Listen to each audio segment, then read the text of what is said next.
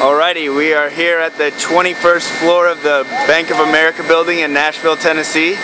I'm going to be rappelling down the 24, 21 stories, excuse me, and uh, we are supporting recovery awareness and uh, addiction, the disease of addiction.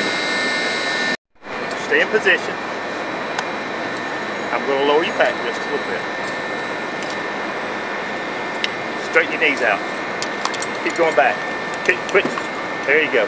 I'm going on yellow. I basically started up about 21 stories up and uh, they strapped us in and we rappelled down the uh, side of the Bank of America building. It was truly an incredible experience, um, very adrenaline rush, gut wrenching, um, but at the same time, just really fun. And uh, basically, Shatterproof is uh, raising awareness for addiction and the stigma that goes along with the disease of addiction. Um, Shatterproof is raising money to help with the um, care and uh, recovery of individuals that are dealing with addiction. I personally am an alcoholic myself.